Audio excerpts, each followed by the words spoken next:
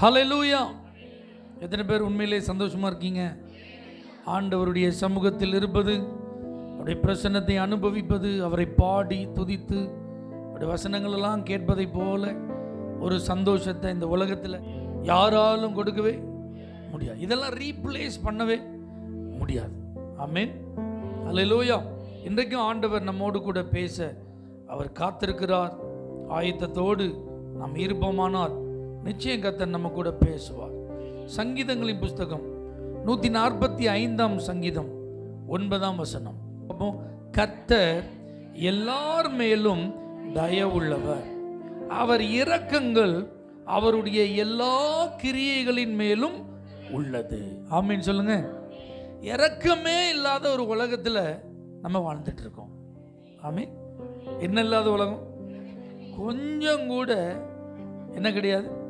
இறக்குங்க. நீங்கள் டிவியை நியூஸ் சேனலுக்கு திருப்பி பாருங்கள் பேப்பர் எடுத்து வாசிக்கிறதுக்கு உட்காருங்க. இல்லை யாராவது ஒரு அவசரமாக ஒரு செய்தியை சொல்கிறாங்கன்னா என்ன அப்படின்னு கேட்டு பாருங்கள் பயங்கரமான தகவலாக தான் என்ன செய்யுது அங்கே குண்டு வெடிச்சிட்டான். அதனால் ஒரு பத்தொம்போது பேர் என்ன செஞ்சிட்டாங்க? மறித்து போயிட்டாங்க.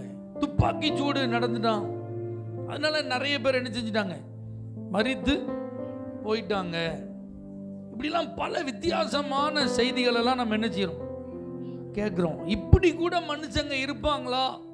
அப்படின்னு சொல்கிற அளவுக்குலாம் வேதனையான சம்பவங்கள் உலகத்தில் என்ன செஞ்சுட்டு இருக்கு ஒரு நாள் ஜெபம் நடத்தும் போது நான் சொன்னேன். ஒரு குழந்தைய பெண் குழந்தையை பெற்றெடுத்த தாய் மருத்துவமனையிலேருந்து வீட்டுக்கு ஆட்டோவில் வந்துட்டு இருக்காங்க எதில் வராங்க? ஆட்டோவில் அது பெண் குழந்தை இறந்ததுனால அதை விரும்பாத அந்த தாய் யாருமே பார்க்காத நேரத்தில் ரோட்டில் ஆட்டோ வந்துட்டு இருந்த போது உட்கார்ந்துட்டு இருந்த அந்த தாய் தூக்கி அந்த குழந்தைய வெளியே வீசிட்டானா? எப்படி இருக்கும் பாருங்க. இதெல்லாம் ஒரு தாயால் செய்ய முடியுமா? அப்படின்னு பார்த்தா முடிஞ்சிருக்கு. அதான் நான் சொன்னேன் இறக்கமே இல்லாத உலகம். சொந்த கணவனை கள்ள உறவுக்காக கொலை செய்கிற மனைவி என்கிற தகவல்கள்லாம் நிறைய நினைச்சிது. வருது. அப்படிதானே ஆமீன். அது மாதிரி தகாத உறவுக்கு தடையா இருக்கிறதுனால மனைவியை கொன்ற கணவன் அப்படிலாம் பார்க்குறோம். சொத்துக்காக தகப்பனை கொலை செய்த பிள்ளை இப்படிலாம் நிறைய நியூஸஸ் என்ன செஞ்சுட்டே இருக்கு. வந்துட்டே இருக்கு. எந்த துறையிலையும் யாருக்குமே பாதுகாப்பு இல்லாத ஒரு நிலை. எப்போ யார் என்ன செய்வாங்கன்னு என்ன செய்ய மாட்டேங்குது தெரியறதில்ல. அப்படிப்பட்ட ஒரு சூழ்நிலையில் ஆண்டவர் சொல்கிறாரு அவர் இரக்கங்கள் அவருடைய எல்லா கிரியைகளின் மேலும் உள்ளது என்று தம்முடைய இரக்கத்தை ஆண்டவர் தம்முடைய வார்த்தையின் மூலம் வெளிப்படுத்துகிறார். இந்த வார்த்தையை கேட்குற நீங்க இரக்கத்தை எதிர்பார்த்து ஏமாந்து போயிருப்பீங்கன்னா இவங்க கண்களில் எனக்கு இரக்கம் கிடைச்சிருந்தா நல்லா இருந்திருக்கும். இவங்க எனக்கு தயவு செஞ்சுருந்தா நல்லா இருந்திருக்கும். ஆனால் அவங்களாம் எனக்கு இறக்கம் என்ன செய்யலை? செய்யாமல் போயிட்டாங்க. அதனால் நான் எவ்வளோ பாதிக்கப்பட்டிருக்கேன் தெரியுமா? அப்படிலாம் நீங்கள் நினச்சிட்டு இருந்தீங்கன்னா உங்களுக்காகவே கத்த சொல்லுகிறார். என்னுடைய இரக்கம் எல்லா கிரியைகளின் மேலும் உள்ளது. ஆமேன். நம்ம பார்க்குற இந்த வானம் பூமி எல்லாம் யாருடைய கரத்தின் கிரியை? கத்தருடைய கரத்தின் கிரியைகள். ஆமீன். சொல்லுங்க பாப்போம். அவர் சின்ன குருவி மேல கூட எப்படி இருக்கிறாரு? இரக்கமா இருக்கிறார். தெரியுமா உங்களுக்கு? அலையிலூயா. தாவீது அதை பார்த்துட்டு தான் சொல்றாரு ஆண்டவரே நான் ஒரு ராஜாவா இருந்தாலும் என் மேல ராஜரீக அபிஷேகம் இருந்தாலும் உங்க பரிசுத்த ஸ்தலத்துக்குள்ள மகா பரிசுத்த ஸ்தலத்துக்குள்ளலாம் என்னால் என்ன செய்ய முடியாது. போகவே ஆனா உங்களுடைய பீடங்கள் அண்டையில் அடைக்கலான் குருவிக்கு வீடும் தகைவிலான் குஞ்சுக்கு தன் குஞ்சு அதை கூ- கூட என்ன செஞ்சிருக்கு? கிடைச்சிருக்கு அப்படின்னு சொல்றாரு. ஹalleluya. அந்த பாக்கியம் அந்த குருவிக்கு என்ன செஞ்சிருக்கு? அந்த இறக்கம் ஆண்டவர் அந்த குருவிக்கு செஞ்சிருக்கிறாரு. மனுஷன் பாவம் செஞ்சதுனால ஆண்டவர் சபித்தார். இனி உன் நெத்தி வேர்வ நிலத்துல சிந்தன் என்ன செய்யணும்? கஷ்டப்பட்டு உழைக்கணும்பா பாடுபடணும்பா அப்படின்னு. ஆனா ஆகாயத்து பறவைகளை கவனித்து பாருங்கள். அவைகள் உழைக்கிறதில்லை அறுக்கிறதில்லை களஞ்சியங்களிலே சேர்த்து வைக்கிறதில்லை. ஆகிலும் பரமபிதா அவைகளை என்ன செய்கிறார்? பிழை போட்டுகிறார். ஆமீன். சொல்லுங்க பாப்போம் ஆண்டவர் பாருங்க அவருடைய கிரியைகளின் மேல தம்முடைய இறக்கத்தை என்ன செய்கிறார்? அப்ப அதுக்கே இவ்வளோ இறக்கம் அப்படின்னா ஆத்துமா இல்லாத இவைகளின் மீது ஆண்டவர் இவ்வளவு இறக்கத்தை வெளிப்படுத்தினால் அவருடைய சாயலாகவே படைக்கப்பட்ட உங்களுக்கு எனக்கு அவர் இரக்கத்தை வெளிப்படுத்துவது அதிக நிச்சயம் அல்லவா? எத்தனை பேர் ஆமைன்னு சொல்றீங்க? ஹalleluya நீங்கெல்லாம் யாருங்க அப்படின்னா ஆண்டவர் சொல்லுவார் என் சொந்த ஜனம். இவங்களாம் யார் ஆண்டவரேன்னு அவர்கிட்ட நான் போய் கேட்டேன்னு ஆண்டவர் சொல்லுவார் இவங்களாம் என் பிள்ளைகள். இவங்களாம் யார் ஆண்டவர் அப்படி கேட்டால் ஆண்டவர் சொல்லுவார் இவங்களுக்காக என் ரத்தத்தை விலை கிரயமாய் கொடுத்து மீட்டெடுத்திருக்கிறேன். லூயா இப்படிப்பட்ட நமக்கு அவருடைய இரக்கங்கள் உண்டு. உண்டா? ஏன்னா பைபிள் ரொம்ப அழகாக டிஸ்கிரைப் பண்ணது. கர்த்தர் இரக்கம் உள்ளவர் கர்த்தர் எப்படிப்பட்டவர்? மோசை ஜபித்தார். ஆண்டவரே உடைய மகிமையை எனக்கு காண்பியும். நான் உங்களை பார்க்கணும். உடனே ஆண்டவர் சொன்னார் கண்மலையில் வந்து நில்லுப்பா. அங்கே ஒரு இடம் இருக்குது அதை நான் கடந்து போவேன். என் கரத்தினால் உன்னை மறைத்து கொள்ளும்போது நீ என் பின்பகுதி என்ன செய்வ? பார்ப்போய் ஆண்டவர் சொன்னபடி அந்த இடத்துல மோசே நின்றபோது கர்த்தர் அந்த இடத்தை கடந்தார். அப்படி கடக்கும்போது அவருடைய நாமங்கள் அறிவிக்கப்பட்டது. நான் கர்த்த கர்த்த இரக்கமுள்ளவர். ஹalleluya எப்படி இரக்கமுள்ளவர்? ஆயிரம் தலைமுறைக்கு நான் இரக்கமுள்ளவர். ஆமேன் ஆண்டவர் சொல்றாரு ஒருத்தன் பாவம் செஞ்சா அவனை நான் மூன்றாம் நான்காம் தலைமுறை மட்டும் விசாரிப்பேன்றார். மூணு நாலு தலைமுறைக்கு ஒரு மனிதன் செய்கிற பாவத்தின் விளைவுகள் என்ன செஞ்சுட்டே இருக்கும்? பாதிப்பை ஏற்படுத்திட்டே இருக்கும். ஆனால் ஒரு மனிதனுடைய வாழ்வில் கத்த தம்முடைய இரக்கத்தை வெளிப்படுத்தினால் அது ஆயிரம் தலைமுறைக்கு ஆசீர்வாதமாக இருக்குமா? ஆமீன். சொல்லுங்க பாபும் அப்போ உங்கள் மேலே கர்த்தர் தன்னுடைய இரக்கத்தை வெளிப்படுத்தும் போது அது உங்களுக்கும் உங்களுடைய பிள்ளைகளுக்கும் உங்களுடைய பின்வரும் ஆயிரம் தலைமுறைக்கும் அது ஆசீர்வாதமாக இருக்கும். ஏன்னா அவருடைய இரக்கங்களுக்கு முடிவே இல்லை. அதான் அதனுடைய அர்த்தம். ஆயிரம் தலைமுறைக்கு நான் இறக்கம் செய்வேன் அப்படின்னு ஆண்டவர் சொல்றாருன்னா அதுல என்ன மறைந்திருக்கிறது அர்த்தம்? அந்த இறக்கத்துக்கு என்ன கிடையாது? Amen your mercies endures for அப்படின்னு இருக்கு. அந்த இறக்கத்துக்கு என்ன கிடையாது? ஒரு நாளும் முடிவே கிடையாது. அதுக்கு முற்றுப்புள்ளியே. ஏன் ஆண்டவரை உங்களை நேசிக்கிறீங்க? ஏன் ஆண்டவரை உங்கள் தயவை உங்களுக்கு வெளிப்படுத்துறீங்க? ஏன் ஆண்டவரை உங்களுக்கு இறக்கத்தை நீங்கள் செய்கிறீங்கன்னு யாரும் என்ன செய்ய முடியாது? கேட்கவே முடியாது. உங்க வாழ்க்கையில் அவர் தம்முடைய இரக்கத்தை வெளிப்படுத்துவார். ஆனா நம்ம என்ன செய்வோம்னா இப்படி இரக்கமுள்ள ஒரு ஆண்டவர் இருக்கும்போது இவரை விட்டுட்டு எங்க அப்பா எனக்கு இறக்கம் காட்டுவாரா? ஆமீன். எங்க அண்ணாச்சி எனக்கு இறக்கம் காட்டுவாரா? எங்க மாமா எனக்கு இறக்கம் காட்டுவாரா? எங்க மச்சான் எனக்கு இறக்கம் காட்டுவாரா? எங்க சொந்தக்காரங்க எனக்கு இறக்கம் காட்டுவாரா? அந்த அதிகாரி எனக்கு இறக்கம் காட்டுவாரா? அந்த ஆபீசர் எனக்கு தயவு செய்வாரா? இப்படிதான் நம்ம என்ன செஞ்சுட்டு இருக்கோம். தேடிடுங்க இருக்கோம் பைபிளில் சில ஆட்களை நான் உங்களுக்கு முன்பாக காண்பித்து கொடுக்குறேன். அவங்களாம் நியாயப்படி நம்ம நினைக்கிற மாதிரி அவங்க ஆ- அதிகாரிகிட்டையும் அப்பாட்டையும் அம்மாட்டையும் தான் நினைச்சிருக்கணும்.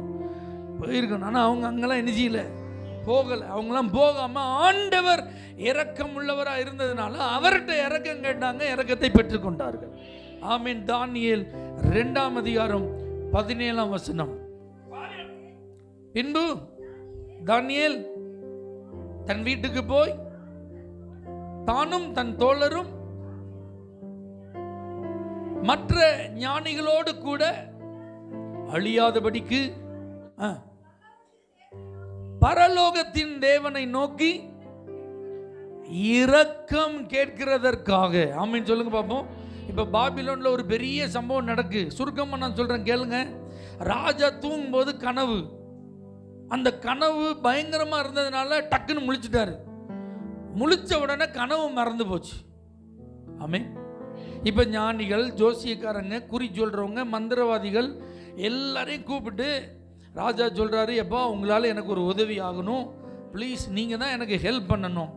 இவங்கெல்லாம் ராஜா that is our pleasure to help you உமக்கு உதவி செய்கிறது எங்களுக்கு ரொம்ப சந்தோஷம். சொல்லுங்கள் என்ன செய்யணும்? செஞ்சிடறோன்றாங்க வேறு ஒன்றும் இல்லை நேற்று ராத்திரி தூங்கும்போது எனக்கு என்ன வந்தது? அதுதான் எல்லாருக்கும் வர்றதானே இதில் என்ன பெரிய விஷயம்? சரி மேலே மேலெல்லாம் இல்லைப்பா. கனவு மறந்துட்டு. ஐ மீன் கனவு மறந்துட்டான் அப்புறம் அப்புறம்லாம் இல்லை. எனக்கு கனவையும் சொல்லணும். அர்த்தத்தையும் சொல்லணும்ட்டான் ராஜா. அவர் தான் அன்னைக்கு மகாராஜா. இவங்க சொல்கிறாங்க என்ன ராஜா இது வேடிக்கையாக இருக்குது இப்படியெல்லாம் நீங்கள் கேட்குறது நியாயமே? கனவை சொல்லுங்கள் அர்த்தத்தை என்ன செய்கிறோம் அவன் சொல்கிறான் இல்லை ஏ உங்களுக்குலாம் நான் சம்பளம் கொடுத்து வேலை கொடுத்து நல்ல பொசிஷனில் உட்கார வச்சுருக்கேன். நீங்கள் ஏன் துட்டில் என்ன செஞ்சுட்டு இருக்கீங்க? வாழ்ந்துட்டு இருக்கீங்க. இப்போ எனக்கு ஒரு காரியம்னா நீங்கள் ஹெல்ப் பண்ணுறதுக்கு உதவி செய்யாமல் நீங்கள் இதெல்லாம் தள்ளி போடுறதுக்கு என்ன செய்றீங்க? அவங்க சொல்லிட்டாங்க இல்லை ராஜா சான்ஸே இல்லை. நீங்கள் கேட்குற மாதிரி ஒருத்தராலும் என்ன செய்ய முடியாது. கனவையும் சொல்லி அர்த்தத்தையும் சொல்ல முடியாது. மாம்சமான ஒரு நபர்கிட்ட வாசம் பண்ணாத தேவன் மட்டும்தான் இதை என்ன செய்ய முடியும். இந்த ராஜா கடும் கோபம் அடைந்தான். அவன் சொல்லிட்டான் நம்ம தேசத்தில் ஞானி மந்திரவாதி குறி சொல்கிறவன் ஜோசியக்காரன் ஒருத்தனுமே உயிரோடு என்ன செய்யக்கூடாது? எல்லாத்தையும் கொண்டுருண்டான் எனக்கு உதவாத ஒருத்தனும் என்ன செய்யக்கூடாது? உயிரோடு இருக்கக்கூடாதுதான் இப்போ இந்த தானியல் அவனுடைய நண்பர்கள்லாம் இந்த ஞானிகள் லிஸ்ட்டில் இருக்கிறவங்க இவங்களுக்கு இந்த விஷயமே என்ன செய்யாது? தெரியாது. இப்போ இவங்களெல்லாம் பிடிக்கிறக்கு ஒருத்தன் வரும்போது ஏன்பா இவ்வளோ அவசரம்னு கேட்கும்போது தான் விஷயத்தை சொல்கிறாங்க ராஜா இப்படி கோபத்தில் ஒரு கட்டளை என்ன செஞ்சிருக்கிறார்? இப்போ பாருங்க இந்த தானியல் யாரு? அங்கே நடந்த மூன்று வருட ட்ரைனிங்கில் தேர்ச்சி அடைந்தவர். சும்மா சாதாரணமாக தேர்ச்சி அடைந்தவரா? டிஸ்டிங்ஷனில் தேர்ச்சி அடைந்தவர். வெறுமனே டிஸ்டிங்ஷன் மட்டும்தானா? Gold medalist. ஐ மீன் உங்களுக்கு புரியுறதுக்காக சொல்கிறேன் என்ன? அதில் சும்மா பாஸ் ஆகிட்டார் ஃபர்ஸ்ட் கிளாஸில் அப்படிலாம் கிடையாது. டெஸ்ட் பண்ணி பார்க்கும்போது அத்தனை பேரை காட்டிலும் பத்து மடங்கு சமர்த்தர்களாக இருந்தாங்க இவங்க. தானியல் அவனுடைய நண்பர்கள். அப்போ ராஜாவை அவங்கள கூப்பிட்டு நிறைய காரியங்களை வினவினான் விசாரித்தான். அத்தனைக்கு அவங்கள்ட்ட என்ன இருந்தது? பதில் பத்து மடங்கு சமர்த்தர்களாக ராஜா தான் பார்க்குறான். அப்போ ராஜாவுக்கு இவங்க நல்ல அறிமுகமானவங்க. அப்படிதானே அல்லேலூயா. நல்ல சந்தோஷமா சொல்லுங்க. உங்களுக்கு இப்படி சொன்னால் அது எப்படி புரியுதுன்னு தெரில இதெல்லாம் எவ்வளோ முக்கியமான கௌரவம்னு தெரில நமக்கு நம்ம சுரண்ட சர்ச்சில் ஒரு தம்பி இருக்கான் சாம். இப்போ ஒரு டாக்டர்.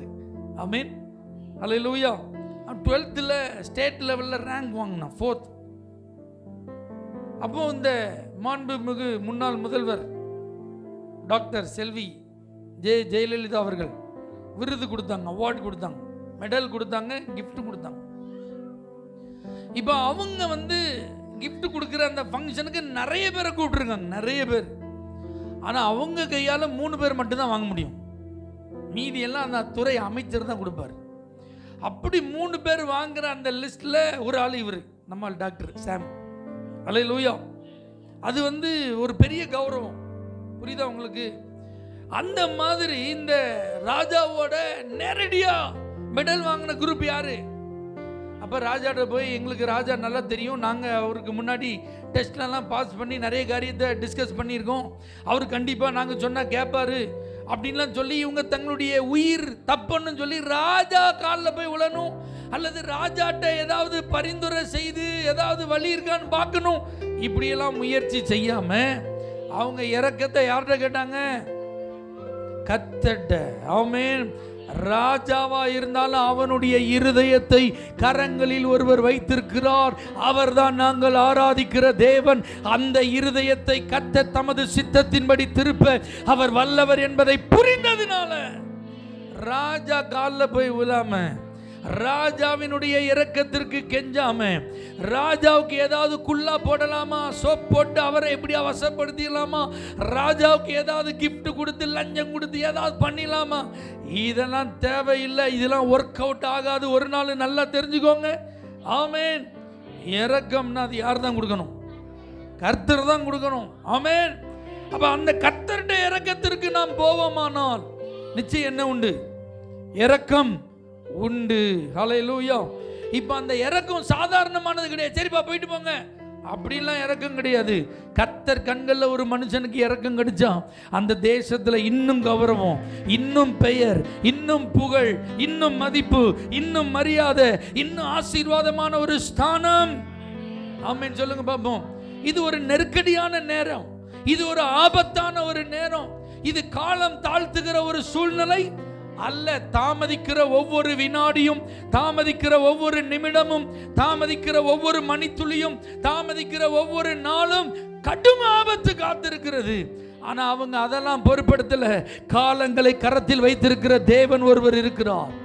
ஹalleluya அதனால எங்களுடைய லைஃப் ஸ்பேன் அவர் கையில் இருக்கு.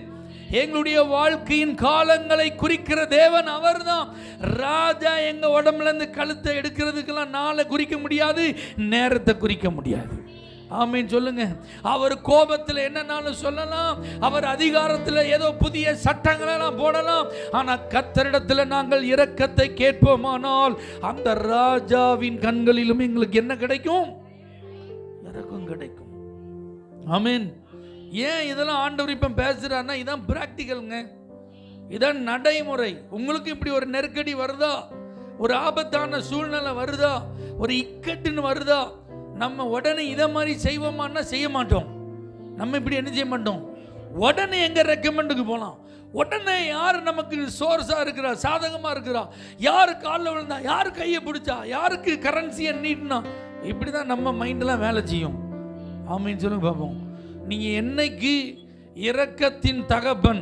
இயேசு என்பதை புரிந்து இரக்கத்திற்காக அவர் முன்னாடி முழங்கால் போடுறீங்களோ அன்னைக்கு உங்களை தலை நிமிர்ந்து நிற்க செய்வார் அன்னைக்கு உங்களை புகழ் பெற்று விளங்க செய்வார் அன்றைக்கு உங்களை ஆசீர்வதித்து மேன்மைப்படுத்துவார். எத்தனை பேர் ஆமைன்னு சொல்றீங்க? இந்த தானியலையும் அவனுடைய நண்பர்களையும் ஆண்டவர் மேன்மைப்படுத்தினான் சும்மா மேன்மைப்படுத்தல. இறக்கத்துக்கு யார்கிட்ட போனாங்க? கத்தட்ட ராஜாட்ட தானேயா போகணும்? இல்லை இல்லை. அவர் தான் பெரிய ராஜா. அல்லேலூயா அடுத்து மார்க் எழுதின சுவிசேஷம். முதல் அதிகாரம் நாற்பது நாற்பத்தி ஓராம் வசனங்களை நீங்கள் கவனித்து பார்ப்பீர்களானால் மார்க் ஒன்று நாற்பது நாற்பத்தி ஒன்று குஷ்டரோகியான ஒரு மனுஷன் ஆண்டவரிடத்தில் வந்து முழங்கால் படியிட்டு அவரை பணிந்து கொண்டு ஆண்டவரே உமக்கு சித்தமானால் என்னை சுத்தமாக்க உம்மாலே ஆகும் என்று வேண்டிக் கொண்டான் அதற்கு இயேசு எனக்கு அப்படியா இருக்கு மனதுருகி. அவர் இறக்கத்தை எப்படி வெளிப்படுத்துறார் பாருங்க. கரம் நீட்டி அவனை தொட்டு அதுக்கப்புறம் தான் சொல்றாரு எனக்கு சித்தம் உண்டு சுத்தமாக. ஆமை சொல்லுங்க பார்ப்போம் குஷ்டரோகிகள் எப்படிப்பட்டவங்க? சமுதாயத்தால் புறக்கணிக்கப்பட்டவங்க. மனிதர்களுக்கு நடுவில் அவங்களுக்கு அங்கீகாரம் கிடையாது. மற்றவர்களைப் போல சகஜமாக அவர்கள் எதை என்ன செய்ய முடியாது. செய்யவே முடியாது. அவங்களே தங்களை ஒதுக்கி வச்சுக்கிடணும். அவங்கள யாரும் ஒதுக்கணும்னு நினைக்கக்கூடாது அவங்களே தள்ளி போய் உட்காந்துக்கிடணும் ஆமீன். அதான் அன்னைக்குள்ள கலாச்சாரம். ஆனால் அந்த மனுஷன் பாருங்களேன் இனி நமக்கு ஒரு வாழ்க்கை இருக்கா? இல்லை. நம்முடைய வாழ்க்கை எப்படி முடியும்? இவர் இன்னாருன்னு ஒருத்தர் இருந்தார் குஷ்டரோகியாக மறித்தார் அப்படி தான் இவர் வாழ்க்கை இப்போ என்ன செய்ய போகுது? முடிய போகுது. பலவீனப்பட்டு சுகவீனம் அடைந்து சரீரெல்லாம் அழுகி விழுந்து தான் செத்தாரு. அப்படிங்கிறது தான் இவருடைய முடிவு. ஆனால் பாருங்க இவர் அதையெல்லாம் பொருட்படுத்தாம இயேசுன்னு ஒருத்தர் இருக்கிறாரு. அவர் தான் முடிவை தீர்மானிக்கிறவர். ஆமே நலையிலூயா மனுஷங்க புறக்கணிக்கலாம் சமுதாயம் தள்ளி வைக்கலாம். ஆனால் கத்தர்னு ஒருத்தர் இருக்கிறாரு அவர் மட்டும் என் வாழ்க்கையில் கிரியை செய்தால் மறுபடி எனக்கு சமுதாயத்தில் அங்கீகாரம் கிடைக்கும் மக்கள் மத்தியில் வரவேற்பு கிடைக்கும் சரீரத்தில் ஆரோக்கியம் உண்டாகும் மறுபடி எனக்கு ஒரு புதிய வாழ்க்கை உண்டாகும். நான் முடிவை சந்திக்கும் போது குஷ்டரோகி என்கிற பெயரில் முடிவை நான் சந்திக்க மாட்டேன். தெய்வீக சுகத்தை பெற்ற நபர் என்கிற முடிவை நான் பெற்றுக்கொள்வேன். அதுக்கு ஆண்டவர்கிட்ட தான் வரணும். அவர்கிட்ட வந்து முழங்கால் படியிட்டு ஆண்டவரே. அப்படின்னு சொல்லி அவரை பணிந்து கொண்டு வேண்டிக் கொண்டான். ஆண்டவர் அவனுக்கு அற்புதம் செய்கிறார். ஆமீன். சொல்லுங்க பாப்போம் நம்ம உடனே ஏதாவது ஸ்கின்ல ஒரு சைஸை தெரிஞ்சுன்னா என்ன செய்வோம்? சொல்லுங்க. உடனே எங்கே போவோம்? டாக்டர் போகிறது தப்பு இல்லை. போங்க. கண்டிப்பாக போங்க. செக் பண்ணுங்க. ட்ரீட்மெண்ட்டுக்கு என்ன முயற்சி அதெல்லாம் செய்யுங்க. அல்ல மாத்திரை கொடுத்தா சாப்பிடலாம். மருந்து கொடுத்தா அதில் போடலாம். இன்ஜெக்ஷன் போட்டாலும் தப்பு இல்லை. ஆனால் ஒர்க் அவுட் ஆகலைன்னு வச்சுக்கோங்க. ஆமீன் அல்ல அது இன்னும் என்ன செய்யல? வேலை செய்யல. அந்த மருந்து உபயோகப்படலை. பணம் செலவு பண்ணியிருக்கிறோம். இன்னும் அதனால என்ன வரல? பலன் கிடைக்கல அப்படின்னா உடனே உடஞ்சிடக்கூடாது. உடனே சோர்ந்து போயிடக்கூடாது. அவ்வளோதான் அப்போ அடுத்தது வேற ஸ்பெஷலிஸ்டா அது இல்லை. ஒரு பெரிய ஸ்பெஷலிஸ்ட் இருக்காரு. அல்ல லூய் அவர் தான் யாரு? ஜீசஸ் ஆமென். அவர் எப்படி இருக்கிறாருன்னா இப்படி உடஞ்சு போன ஆட்கள் எல்லாம் சரி பண்றதுக்கு தான் இருக்கார். ஹாலை லூயா இனி இவர்களுடைய அடையாளம் இந்த நோயாளி இந்த முத்திரை தான் அவங்களுக்கு. பரவாயில்ல. அது உலகம் சொல்லலாம் உறவு சொல்லலாம் ஊர் சொல்லலாம். ஆனா ஆண்டவர் சொல்றார் பலவீனன் எவனும் தன்னை பலவீனன் என்று சொல்லாமல் பலவான் என்று சொல்ல கடவன். ஆமேன். ஏன்னா அந்த இரக்கத்தை அவர் கொடுக்க வல்லவராய் இருக்கிறோம் அவர் தம்முடைய கரத்தை நீட்டி தன்னுடைய மனதுருக்கத்தை வெளிப்படுத்தும் போது உங்களுக்கு அவர் கண்களில் இறக்கம் கிடைக்கும். ஆமேன். அப்படி இறக்கம் கிடைச்சா உங்க பலவீனம் நீங்கும். சமுதாயத்தில் உங்களுக்கு வரவேற்பு உண்டாகும். இப்படிப்பட்ட சூழ்நிலையில் ஒரு மனுஷனுக்கு ஆண்டவர் இறக்கத்தை யாரு கிட்ட வர மாட்டாங்க யாரு தொட மாட்டாங்கங்க ஆனா அப்படிப்பட்ட மனுஷனை கிட்ட வந்தவனை தூரப்போன்னு சொல்லாம அல்லது அருகில் இருந்தவர்களை அழைத்து அவனை விரட்டி அடிக்காமல் அவருடைய வார்த்தைகளை கேட்டு தன்னுடைய மனதுருக்கத்தை வெளிப்படுத்தின இயேசு இன்றைக்கும் ஜீவிக்கிறார். இன்றைக்கும் உங்களோடு கூட இடைப்பட்டு கொண்டிருக்கிறார் மனுஷன் தூர போனவங்களை சொல்லியிருக்கலாம். மனுஷன் வெளியில போனவங்களை தள்ளி இருக்கலாம் மனுஷன் இனி உள்ள வராதன்னு உங்களுக்கு தடை போட்டு இருக்கலாம் இனி ஒருபோதும் இங்கு நீ வருவதற்கு தகுதி இல்லை என்று அவர்கள் தீர்மானித்திருக்கலாம். ஆனால் உங்களை வரவேற்பதற்கும் உங்களை ஆசீர்வதிப்பதற்கும் உங்களுடைய வாழ்வில் தன்னுடைய இரக்கத்தை வெளிப்படுத்தி மறுபடி ஒரு புதிய துவக்கத்தை கொடுப்பதற்கு ஏசு இரக்கமுள்ளவராய் இருக்கிறார். ஆமேன். சொல்லுங்க பாப்போம். லூயா மார்க் எழுதின சுவிசேஷம் பத்தாம் அதிகாரம் நாற்பத்தி ஏழாம் வசனத்திலிருந்து ஐம்பத்தி இரண்டாம் வசனம் வரைக்கும் கண் தெரியாத ஒரு மனிதன் பருதிமேயும் அன்றைக்கு ஆண்டவரை கூப்பிடுகிறான். தாவீதின் குமாரனை எனக்கு இறங்கும். எப்படியாவது இறக்கத்தை வெளிப்படுத்திருங்கப்பா. பிச்சைக்காரன் பிச்சைக்காரன் எல்லாரும் என்ன செய்கிறாங்க என்னைய? சொல்றாங்க. அவமானமா இருக்கு. இந்த வார்த்தையை கேட்கும் போதே சங்கடமா இருக்கு. கண்ணு தெரியாம பிறந்தது நான் செஞ்ச தப்பா? எப்படியோ இந்த வாழ்க்கையில நான் அப்படி என்ன செஞ்சிட்டேன்? பிறந்துட்டேன். சமுதாயத்தில் எனக்கு லோ லெவலில் தான் கிரேடு கொடுத்து வச்சிருக்காங்க. தேர்ட் கிளாஸ் சிட்டிசனாக தான் நான் என்ன செய்கிறேன் இருக்கிறேன். யாரையாவது எதிர்பார்த்து தான் பிழைக்க வேண்டியது இருக்கு. யாராவது எனக்கு உதவி செஞ்சாதான் என் காலம் கழிஞ்சு கொண்டிருக்கு. ஆகவே எனக்கு உம்முடைய இறக்கம் தேவை. அல்லேலூயா ஏதோ கையில் காசு கொடுக்குறவங்க எனக்கு தேவைன்னு அவன் நினைக்கலங்க. ஆமீன் காயின் கொடுக்குற ஆள்கள் இருந்து மணி பண ரூபா நோட்டு கொடுக்குற ஆள் போதும் அப்படின்னு நினைக்கல அவன். நாலு பேர் உதாசீனப்படுத்தாலும் நாலு பேர் நம்மளை ஏற்றுக்கொள்றாங்க அவன் போதும்னு நினைக்கலங்க. அவன் நினைச்சதெல்லாம் எனக்கு இயேசு. ஆமாம் அவர் தான் எனக்கு இறக்கம் செய்யணும். நான் உட்கார்ந்து இருக்கிறத பார்த்து எனக்கு யாரும் கொடுத்து அந்த இறக்கம் தேவையில்லை. நான் கேட்கிறத பார்த்து எனக்கு கொடுக்கிற அந்த இறக்கம் எனக்கு தேவையில்லை. என்னுடைய பரிதாபமான நிலையை பார்த்து யாராவது எனக்கு ஹெல்ப் பண்ற அந்த இறக்கம் எனக்கு தேவையில்லை. எனக்கு உண்மையிலேயே இரக்கம் பாராட்டுகிற ஒரு தெய்வம் இருக்கிறாரு. அவருடைய இரக்கம் தான் எனக்கு தேவை. ஏன்னா இந்த மனிதர்களுடைய இறக்கமெல்லாம் நிரந்தரம் அல்ல. இந்த மனிதர்கள் காண்பிக்கிற இரக்கம் எல்லாம் எனக்கு எல்லா விதத்திலும் உதவியா இருக்காது. எனக்கு மனிதர்களிடத்திலிருந்து வருகிற இரக்கம் எல்லாம் நான் எதிர்பார்க்கிற விதத்தில் இருக்காது. உண்மைதானா? உண்மைதானே? அல்ல லூயா இல்ல பாஸ்டர் அப்படி யாராவது சொல்றதுக்கு முடியுமா? நெவருங்க வாய்ப்பே இல்லை. மனுஷங்க மூலமா சில ஹெல்ப் சப்போர்ட்ஸ் உண்டு. தேங்க்யூ ஃபார் தட் அதற்காக நன்றி.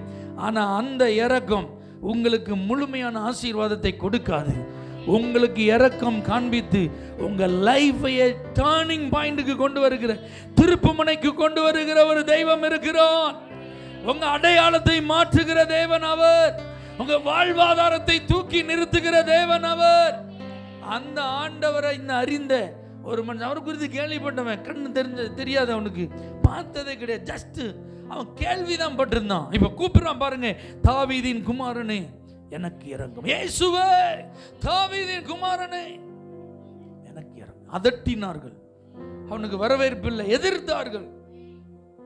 அவனை முன்னிலும் அதிகமாக அவன் சத்தமிட்டு என்ன செஞ்சானோ? கூப்பிட்டான். இயேசு நின்று என்னிடத்துக்கு அழைத்து வாங்கன்றார் யாருமே அவனை கூட்டிட்டு போய் விடுறதுக்கு விருப்பம் இல்லை. நிறைய சம்பவங்களெல்லாம் பார்க்குறோம். வியாதியஸ்தரெல்லாம் கொண்டு வந்து நிப்ப படுக்க வச்சுருந்தாங்க. நிழல் பட்டா சுகமாக வர்றதுக்கு கட்டிலெல்லாம் தூக்கிட்டு வந்தாங்க. ஆமே ஆனால் இந்த மனுஷனை கைபிடிச்சு ஏசிட்ட கூட்டு போகிறதுக்கு யாருமே இல்லைங்க. ஆனால் அவன் அதை எனக்கு யாரும் இல்லை அப்படி சொல்லலை அவன். எல்லாருக்கும் ஆள் இருக்கு எனக்கு ஒருத்தர் இல்லை அப்படி சொல்லலை அவன். எல்லாருக்கும் ஹெல்ப் பண்ணுறாங்க ஆனால் எனக்கு ஹெல்ப் பண்ணலை. அப்படிலாம் சொல்லலை.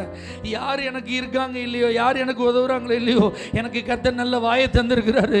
அவரை நான் பார்க்க முடியாமல் இருக்கலாம். ஆனால் என் சத்தத்தை அவர் கேட்பார் என்பதை என் இருதயம் அறிந்திருக்கிறது. அவர் இரக்கங்களின் தேவன். அவருக்கு முன்பாக என் சத்தம் செல்லுமானால் அவரிடத்திலிருந்து எனக்கு இரக்கம் உண்டு. அலையலூயா இயேசு நின்று அழைத்து வரச் சொல்றார். போன உடனே நான் உனக்கு என்ன செய்ய வேண்டும் என்று கூப்பிட்டல்லப்பா என்னப்பா வேணும்? ஆண்டவர் கேட்கிறார். ஹalleluya இவன் கூப்பிட்டாலே யாருமே அவன்கிட்ட என்ன வேணும் கேட்க மாட்டாங்க. காயினை போட்டு என்ன போயிடுவாங்க. ஏன்னா அவங்களுக்கு தெரியும் அவனுக்கு என்னதான் தேவை? பணம் தான் தேவை. காசு தான். வயிற்று பிழைப்புக்கு சாப்பாடுக்கு வாழ்வாதாரத்துக்கு அவனுக்கு என்னதான் தேவை? ஆனால் அவனுக்கு பணம் தேவையில்லை. அதுக்கு மேலே அவனுக்கு ஒரு பெரிய தேவை இருக்கிறது என்பதை அறிந்தவர் தான் இந்த இரக்கமுள்ள தேவன். ஏன் இரக்கமுள்ள தேவனை கூப்பிடுங்கன்னு சொல்றேன் தெரியுமா? நீங்க கூப்பிட்டால் உங்க சத்தம் எதற்கு என்று மனிதர்கள் கணக்கு போடுகிற கணக்கின்படி இந்த கர்த்தர் கணக்கு போடுகிறவர் அல்ல. என் பிள்ளை கூப்பிட்டு என்னை அழைக்கிறது என்று சொன்னால் எதற்காக? இந்த நேரத்தில் ஏன் என் பிள்ளை என்னை அழைக்கிறது என்பதை முற்றிலும் அறிந்த ஒரு தேவன் அவர் அதனால தான் அவரை கூப்பிடுங்க. இந்த இரக்கமுள்ள தேவனை கூப்பிடுங்க. இவரை மட்டும் மிஸ் பண்ணிடாதீங்க இவரை கூப்பிடுறத மட்டும் மிஸ் பண்ணிடாதீங்க இவரை கூப்பிடுறதுக்கு யோசிச்சிடாதீங்க ஏன் ஏன் ஏன்? மறுபடி மறுபடி. இவரிடத்தில் தான் உங்களுக்கு நிரந்தர இரக்கம். இவரிடத்திலிருந்து தான் உங்களுடைய வாழ்க்கையில் நீங்கள் எதிர்பார்க்கிற ஆசீர்வாதம். ஆமீன். சொல்லுங்க பாப்போம். மற்ற பதினைந்தாம் அதிகாரம் இருபத்தி ரெண்டாம் வசனம். கானானிய ஸ்திரீ தன்னுடைய மகளுக்காக ஆண்டோட்ட வராங்க தாவீதின் குமாரனே இறங்குங்க. என் மகளுக்கு என்ன செய்யுங்க? இறங்குங்க. ஆனால் ஆண்டவர் என்ன செய்யல? அதை கேட்கல. அவளை பார்க்க இல்லை அப்படிலாம் கிடையாது. அவர் கேட்காதது போல இருந்தார். அவர் பார்க்காதது போல இருந்தார். அவருக்கு நல்லா கேட்கும். அவருக்கு நல்லா தெரியும். தெரியுமா? நானும் நீங்களும் கண்ணை மூடுனா என்ன செய்யாது? எதோ தெரியுமா? கண்ணை மூடி இருள் தெரிகிறது. கண்ணை முன்னே இருட்டு தான் தெரியும். அலை லூயா அப்படிதானே? கண்ணை முன்ன என்ன தெரியுது? ஆமாம் அதெல்லாம் நமக்கு ஒன்றுமே தெரியாது. ஆனால் அவர் கண்ணை மூடி இருந்தாலும் அவருக்கு எல்லாம் தெரியும். இந்த அம்மா எங்கேருந்து வந்திருக்கிறாங்க எதுக்காக வந்திருக்காங்க என்ன சொல்லி கூப்பிட்டுட்டு எல்லாமே யாரும் தெரியும்? சீசர்களே நிறுத்தி ஆண்டவரே இந்த அம்மா ரொம்ப நேரமாக கூப்பிட்டுருக்காங்க பாருங்கள் பாருங்க. ஏதாவது செய்யுங்கன்னு சொல்கிற அளவுக்கு ஆண்டவர் அமைதியாக என்ன செஞ்சிருக்கிறார்? இருந்திருக்கிறார். ஆமென் அல்ல லூயா ஆண்டவர் சொல்றே நான் காணான் போனேன். இஸ்ரவேலர்களுக்கு தான் என்ன செஞ்சிருக்கேன்? வந்திருக்கிறேன்பா இஸ்ரவேலருக்கு மட்டும்தான் காணானியர்களுக்கெல்லாம் கிடையாது. அப்படின்னா ஆண்டவர் அங்கே கிளாசிஃபை பண்ணி காட்டுற மாதிரி. என்னமோ அவங்களாம் வேற இவங்களாம் வேற. யூதர்களுடைய கருத்து எப்படி இருக்குன்னா இவங்க தான் ஃபர்ஸ்ட் கிளாஸு மற்றதெல்லாம் தேர்ட் கிளாஸு அதே லூயா யூதர்கள்லாம் என்ன கிளாஸு ஃபர்ஸ்ட் கிளாஸு மற்றவங்களாம் தேர்ட் கிளாஸ் அதுவும் காணானிய குடிகள். கிட்ட அடிச்ச மாட்டான்? வர மாட்டான் அவ்வளவு அருவருப்பான ஒரு குரூப். ஆண்டவர் அவங்களுக்கு சப்போர்ட் பண்ணி பேசுகிறமே பேச ஏ நான் உங்களுக்கு தான்ப்பா வந்தேன். அதில் எத்தனை பேர் காலத்தை தூக்கி விட்டானு தெரியல. அலையிலூயா ஆனால் அந்த அம்மா அப்பவும் என்ன செய்யல? விடல இறங்குங்க. என் பிள்ளைக்கு என்ன செய்யுங்க? இறங்குங்க. ஆண்டவர் சொன்னார் எப்போ? பிள்ளை நப்பத்தெல்லாம் எடுத்து. ஆ? நாய்க்குட்டிகளாம் என்ன செய்ய முடியாது. அந்த அம்மா சொல்லிட்டாங்க மெய்தான் ஆண்டவரே. அலையிலூயா நீங்கள் சொன்னதெல்லாம் உண்மைதான். யூதர்கள் பெண்களையே ரெண்டாந்தர குடிமங்களாக தான் பார்ப்போம். அது மற்ற ஆள்களெல்லாம் நாய்க்கு சமமாக தான் பார்ப்போம். இப்போ ஆண்டவர் சொன்னது உண்மைன்னு அவங்க என்ன செய்கிறாங்க சொல்கிறேன் ஆனாலும் எஜமான் சாப்பிட்டா அதில் மீதி. அது கீழே விழுதுன்னா அது யாருக்கு தான்? அந்த மாதிரி எதாவது பார்த்து செய்யுங்களேன். அப்படி சொன்ன உடனே ஆண்டவர் சொல்ல ஸ்திரீயே உன் விசுவாசம் பெரியது. ஆமே சொல்லு பார்ப்போம் பாருங்க இறக்கமே இல்லாத ஒரு ஆள் மாதிரி பேசிட்டு இருந்தார் ஆண்டவர். இப்போ டக்குன்னு எப்படி பேசுகிறாரு ஸ்திரியேன்னு பேசுறார். இந்த ஸ்திரியேன்னு இது வரைக்கும் வேற யாரெல்லாம் ஆண்டவர் கூப்பிட்டுருக்காரு. அவங்க அம்மா அல்லேலூயா ஸ்திரீயே எனக்கும் உனக்கும் என்ன கேட்கும்போது நம்ம கொஞ்சம் வல்கராக தெரியுதுன்னா அந்த வேர்ட் கொஞ்சம் ரஃப்பாக தெரியுது ரூடாக தெரியுது. என்ன ஒரு ஸ்திரியே ஏ பொம்பளை. அப்படின்னா எப்படி இருக்கும்? நமக்கு நல்லா இருக்குமா? என்னம்மா என்னக்கா? அப்படி கேட்குறக்கும் இந்த மாதிரி கேட்கறதுக்கு இப்படி இருக்குது அந்த மாதிரி. அப்படிலாம் ஆண்டவர் பேசவே மாட்டார். நல்லா தெரிஞ்சுக்கோ ஏசப்பா ரொம்ப பொலைட் அவருடைய வார்த்தை எப்படி இருக்கும்? ஸ்வீட்டர் ஏன்னா அவர் வெறும் ஜீசஸ் இல்லை ஸ்வீட் ஜீசஸ் ஆமீன். சொல்லுங்க பாப்போம். அவர்கிட்ட எப்பவுமே இனிமே தான் இருக்குமே தவிர அவர்கிட்ட ஒரு நாள் கடுமையாக அனுச்சியார். ஆண்டவர் பாருங்க யாருமே மதிக்காத யாருமே ஏற்றுக்கொள்ளாத ஒரு சகோதரியை அந்த கிரீக் லாங்குவேஜில் இருக்கிறதுல கனமா ஒரு லேடி எப்படி கூட முடியும் அப்படி கூப்பிடுறாரு ஆண்டவர். இருக்கிறதுலே மரியாதையா இருக்கிறதுலே மதிப்பா எப்படி கூட முடியுமோ அப்படி கூப்பிடுறாருங்க. அல்லேலூயா இறக்கம் எப்படி பார்த்தீங்களா? சமுதாயத்தில் இந்த இறக்கம் கிடையாது. சமுதாயத்தில் இந்த இறக்கம் கிடைக்காது. ஆனால் தேவனிடத்தில் இறக்கம் உண்டுங்க. அல்ல லூயா அவர் பாருங்க யாரு மதிக்க மாட்டாங்க அப்படின்னு தெரியுது? அவங்க மத்தியில் அவங்கள மதிப்பாக நடத்துறாரு பாருங்க. ஹalleluya யாரு புறக்கணிப்பாங்க ஏற்றுக்கொள்ள மாட்டாங்க அப்படிங்கிற அந்த கூட்டத்தை அத்தனை பேர் அட்டென்ஷனையும் தன்னிடத்தில் திருப்பி அதுக்கப்புறம் அவங்கள ஹானர் பண்ணுறாரு பார்த்தீங்களா அதுக்கு முன்னாடி ஏதாவது செஞ்சிருந்தாருன்னா கூட்டத்தோட கூட்டமாக கண்டுக்கிடாம போயிருப்பாங்க. ஏன்னா நிறைய அற்புதம் அங்கே என்ன செஞ்சிட்டு இருக்கு ஏ அங்கே கண்ணு தெரியுதான் ஏ அங்கே கை சரியாயிட்டான் அங்கே கால் சரியாயிட்டான்னு டக்கு டக்குன்னு அங்கே எல்லாரும் என்ன செஞ்சிருவாங்க? போயிடுவாங்க இப்போ ஏசப்பா அதெல்லாம் அப்படியே ஸ்டாப் பண்ணிட்டு இங்கே ஒரு டீல் பண்ணிட்டு இருக்காருன்னு என்ன யாரையும் ஒரு ஆளை பார்த்து ஆண்டவர் ஏதோ வேகமாக பேசியிருக்காரு கொஞ்சம் கோபமாக பேசியிருக்கிறாரு கொஞ்சம் வித்தியாசமாக பேசியிருக்காருன்னு இப்போ எல்லாருடைய கவனம் எங்கே தான் இருக்குது இந்த அம்மா மேலே தான் இருக்கு. அத்தனை பேருடைய கவனத்தையும் திருப்பி அந்த அம்மாவை கனப்படுத்துகிறார். அந்த அம்மாவுடைய மகளுக்கு அற்புதம் செய்கிறார். ஆமைன்னு சொல்லுங்க. அல்ல இல்லையா ஐயா நீங்க யாரா இருந்தாலும் பரவாயில்ல. அம்மா நீங்க யாரா இருந்தாலும் பரவாயில்ல. உங்களை ஆண்டவர் கனம் பண்ண விரும்புறார். அந்த இறக்கம் அவர்கிட்ட இருக்கு. உங்களை ஆண்டவர் மதிப்பு நிறைந்த ஒரு நபரா எல்லார் முன்னாடியும் அடையாளப்படுத்த விரும்புகிறார். அந்த இறக்கம் அவர்கிட்ட இருக்கு. அதனால தான் அவரை கூப்பிடுங்கன்றது. அல்ல லூயா எதற்காக நீங்க கூப்பிடுறீங்க? எல்லாம் அவருக்கு தெரியும். அவன் ஏன் கூப்பிடுறீங்க? அவருக்கு தெரியும். கூப்பிடணும் அவ்வளவுதான். மகளுக்கும் அற்புதம் அந்த அம்மாவுக்கும் கௌரவம். ஆமைன்னு சொல்லுங்க பாப்பா நல்ல சத்தமா? எஸ்தர் ராஜாதி எஸ்தரின் புஸ்தகம் ஐந்து பன்னெண்டுல ஒன்று ரெண்டுல நம்ம வாசிக்கிறோம். ராஜ சமூகத்தில் போகவே முடியாது. ஆனால் சட்டத்தை மீறி ராஜ சமூகத்துக்கு என்ன செஞ்சாங்க? போனாங்க. ராஜா கண்களில் அவங்களுக்கு என்ன கிடைச்சது? தயவு கிடைச்சது. நான் ராஜாதி நூற்றி இருபத்தி ஏழு தேசத்தை ஆளுகிற ராஜா எனக்கு. யாரு? கணவர். அதனால நான் எப்போனாலும் போவேன். அப்படின்னு போனால் முடியுமா? முடியாது. அங்க அப்படி சட்டம் அனுமதிக்காது. எல்லார காட்டிலும் எஸ்தர் மேல ராஜா அன்பு வச்சிருந்தா உண்மைதான். அதனால ராஜாவுடைய அன்பு என் மேல எப்பவும் உண்டு. அதனால நான் போயிடுவேன் அப்படிலாம் முடியாது. ஆமேன்.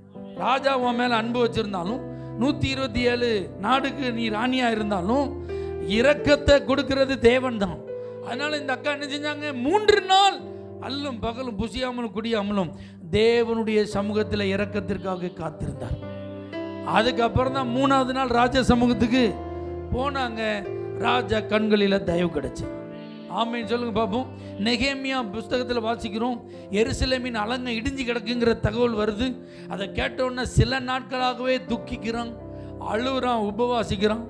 ராஜாவுடைய பானபாத்திரக்காரனை வேலை செய்கிறான் ஒன்று பதினொன்று நீங்கள் பதினொன்றில் தமக்கு பயந்துருக்கிறவங்களுக்கெல்லாம் அவர் இறக்கம் செய்கிறாரு அப்படிங்கிறது தெரிஞ்சிருந்தாலும் நான் ராஜாவுக்கு பானபாத்திரக்காரன்லாம் நான் டேஸ்ட் பண்ண ஜூஸ் தான் அவர் என்ன செய்வார்? குடிப்பார். நான் டேஸ்ட் பண்ண சாப்பாடு தான் அவர் சாப்பிடுவார். ஏன்னா இவன் உயிரோடு இருந்தால் தான் அவர் என்ன செய்வார்? சாப்பிடுவார். அப்போ ராஜாவுக்கு மிகவும் நம்பிக்கைக்குரிய ஆள் யார்? நெகேமியா. அப்போ இந்த நெகேமியா நம்ம என்னன்னாலும் ராஜாட்ட போய் சொன்னால் உடனே கேட்டுருவார் நம்ம என்ன செய்யல? அவன் நினைக்கல. அவன் சில நாட்களாகவே தேவ சமூகத்தில் அழுது உபவாசித்து தேவனை நோக்கி ஜெபித்து கொண்டிருக்கிறான். இப்ப ராஜாவுக்கு முன்னாடி ராஜா கேட்கிறாரு உன் முகம் வாடி போயிருக்கப்பா. மனதின் துக்கமே தவிர வேற இல்ல. வாட் இஸ் யுவர் ப்ராப்ளம் இப்ப பாருங்க அந்த நேரத்துக்குள்ள நல்ல வேலை ராஜா கேட்டாரு நம்மளும் ஆரம்பிக்க கூடாதுன்னு நினைச்சோம். ராஜா ஆரம்பிக்கட்டும்னு. இப்ப ராஜா ஆரம்பிச்சா போட்டுரு மேட்ரை சொல்லிடு அப்படின்னு அவன் என்ன செய்யல? நினைக்கல. பைபிள் ரொம்ப அழகா சொல்லுது. அந்த நேரத்திலையும் பரலோகத்தின் தேவனை நோக்கி மனசில் ஒரு சின்ன ஜெபம் பண்ணிட்டு தான் மேட்ரை சொல்றான். லூயா நீ அந்த அதிகாரங்களை அடுத்த அதிகாரத்தெல்லாம் வாசிச்சு பார்த்தா ராஜா பக்கத்தில் யார் உட்காந்துருந்தா ராஜஸ்திரீ ராணி உட்கார்ந்திருந்தா. அமீன் அப்போ தைரியமாக அந்த வார்த்தையை சொல்கிறான் ரெண்டு பேரும் ஒருமனப்பட்டு ஓகே பண்ணுறாங்க இவனுக்கு வேண்டிய பொருட்கள் கொடுக்கப்படுது ரெக்கமெண்டேஷன் லெட்டர் கொடுக்கப்படுது. ஆள்கள் கொடுக்கப்படுறாங்க வீரர்கள் உதவிக்கு அனுப்பப்படுறாங்க. அந்த வேலையை செய்து முடிக்க அவனுக்கு தேவையான அத்தனை உதவிகளும் செய்யப்பட்டது. அல்ல லூயோ நீங்கள் ஒரு பழமொழி கேட்டிருக்கீங்களா? அந்த சாமி வர கொடுத்தாலும்? அப்படின்னு ஒரு பழமொழி இருக்கு தெரியுமா? தெரியுமில்ல. அப்படின்னு என்ன அர்த்தம்?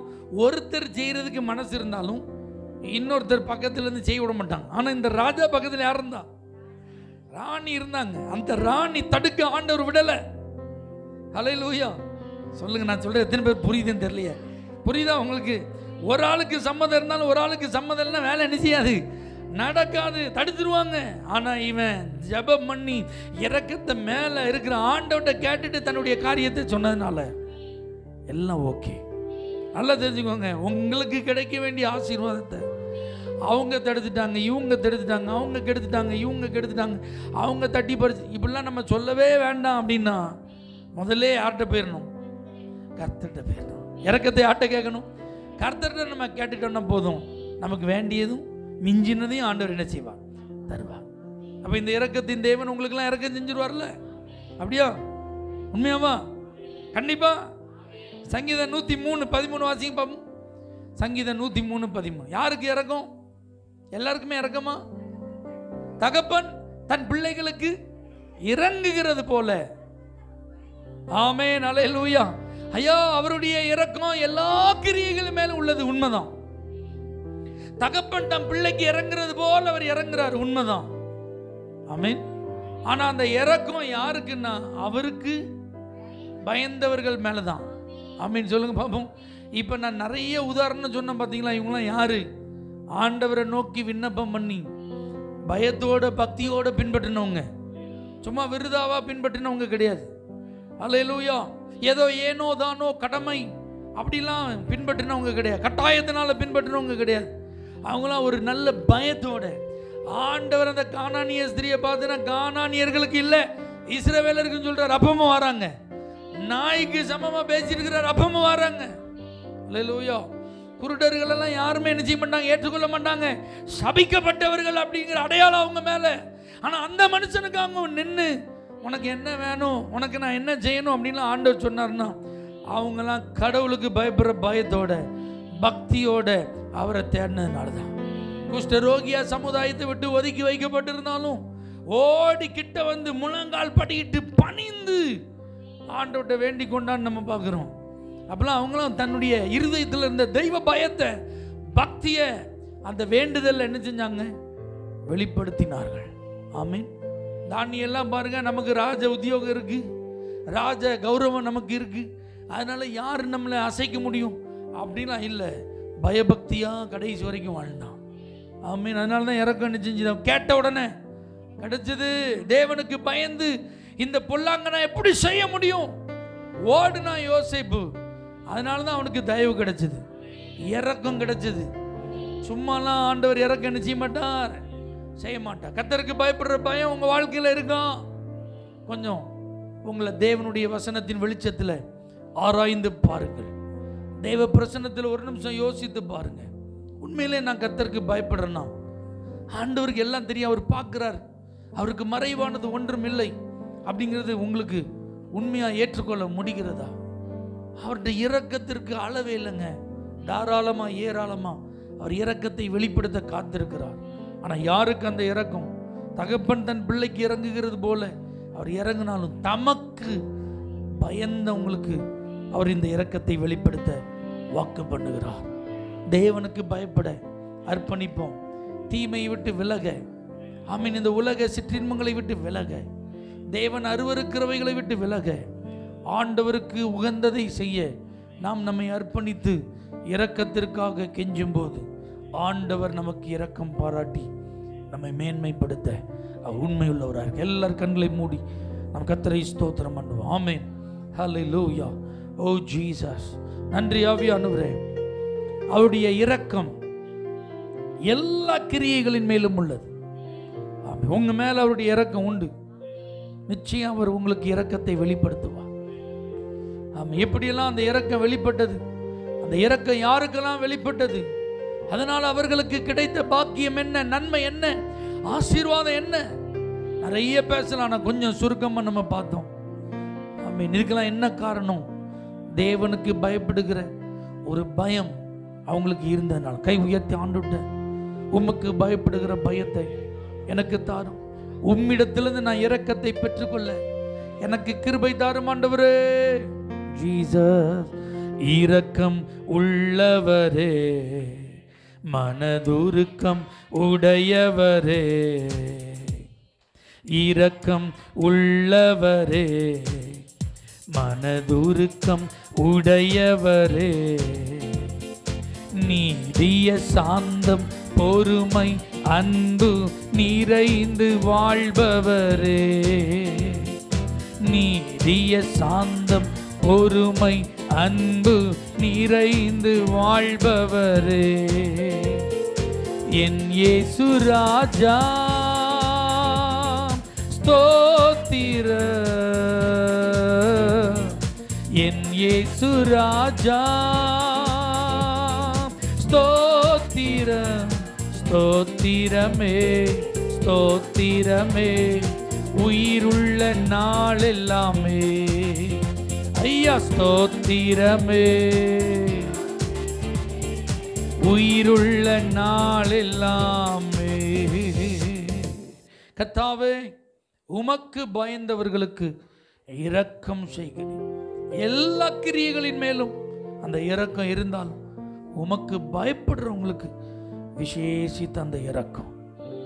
இன்றைக்கு இந்த வார்த்தை கேட்ட அத்தனை பேர் நான் உமக்கு பயப்படுவாண்டவரேன்னு தங்களை ஒப்பு கொடுத்துருக்கிறபடின்னா அவங்களுக்கு இறக்கத்தை வெளிப்படுத்துங்க. எந்தெந்த காரியங்களில் அந்த இறக்கம் வெளிப்படணுமோ அந்த இறக்கத்தை அனுபவிக்க கத்த கிருபைத்தார். இயேசுவின் நாமத்தில் பிதாவே ஆமே என் ஆத்மாவே கத்தரை ஸ்தோத்திரி. என் முழு உள்ளமே அவருடைய பரிசுத்த நாமத்தை ஸ்தோத்திரி. என் ஆத்மாவே கத்தரை ஸ்தோத்திரி. அவர் செய்த சகல உபகாரங்களை மறவாது. நம்முடைய கத்தராகி இயேசு கிறிஸ்துவின் கிருபையும் பிதாவாகிய தேவடைய அன்பும் பரிசுத்த ஆவியானவரின் ஐக்கியமும் ஆசீர்வாதமும் இரக்கமும் இன்றும் என்றும் நம் அனைவரோடும் கூட என்றென்றைக்கு தங்கியிருப்பதாக. ஆமே ஹாலே லூயா